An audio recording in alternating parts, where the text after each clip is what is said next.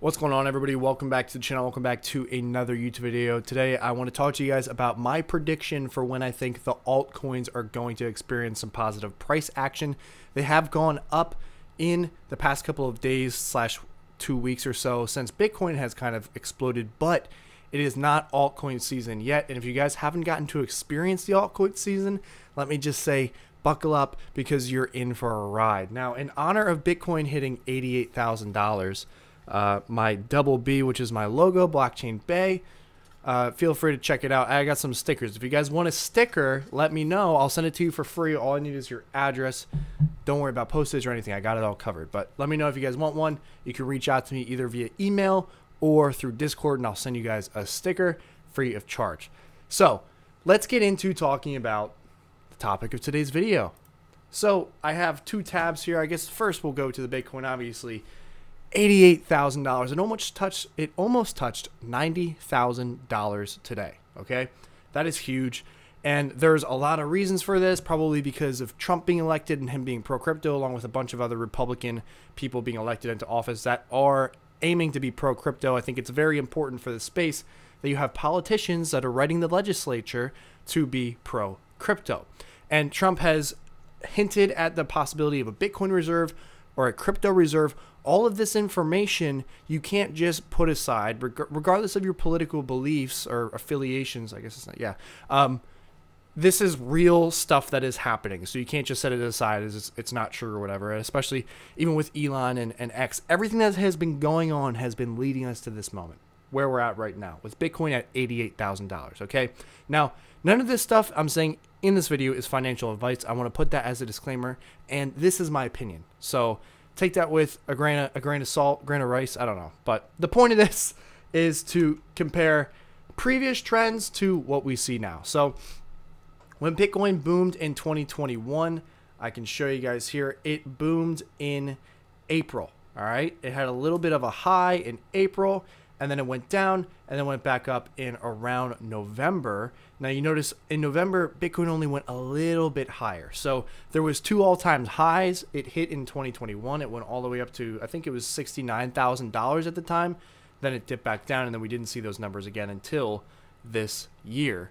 And then it's been all over the place and now we're at the price that we're at now. Now you can take this for almost any altcoin. An altcoin is every coin that's not Bitcoin. Bitcoin is the main coin because it was the first coin. So if you're confused on that definition, there's a there's a uh, easy explanation for you. So if you were to look at Solana during this time, so remember this date, key date 413-2021. If I go to 413-2021, you look at this. It's a little bump, okay? So this little bump was a massive bump on Bitcoin's chart. Massive spike, massive inflow, $77.45 billion in the 24 hour volume. You go over to Solana, and Solana wasn't as well known during this time, but just a, a small 570 million. You can apply this to all of them. Look, Avalanche, Solana, Dogecoin is another example. It didn't do anything in this initial bull run, although Dogecoin actually exploded, probably because of everything that was going on with, you know, you guys had to be around for that. But with the exception of maybe Dogecoin, you can look at pretty much every chart and it is the exact same time frame.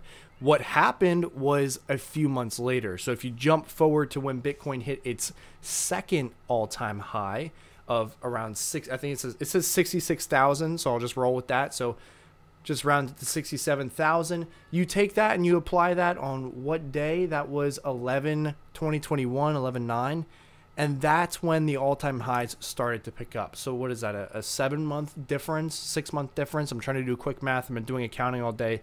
So, my brain is fried. So, forgive me if my math is not right.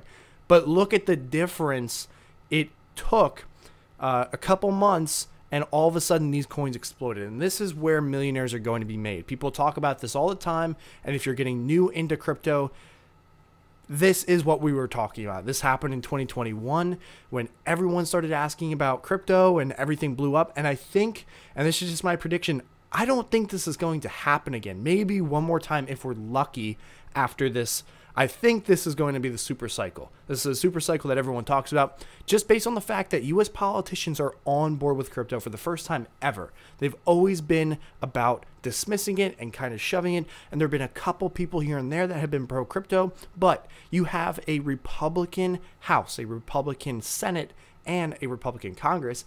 And you got a Republican president who most of whom are in support of some sort of crypto reserve or just in support of crypto. Now that is just a multiplier that nobody knows how far it will trickle down, but it's going to be huge. It's going to be massive. So, my prediction, if I go full screen here, my prediction and I I don't know. I really don't know what it's going to end up being with the prices that we're going to see, but I have so many of so many tokens. I have I'm just just I'm stretched out. I have all my eggs in a bunch of baskets.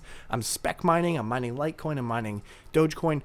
All of this is in preparation for what's about to happen. And I think if you go off of past trends, we can see something. We can expect to see something within five months. Okay. I know that sounds like it's so far away, but keep in mind I said within five months. So it could be it could be next week. We could see altcoin season.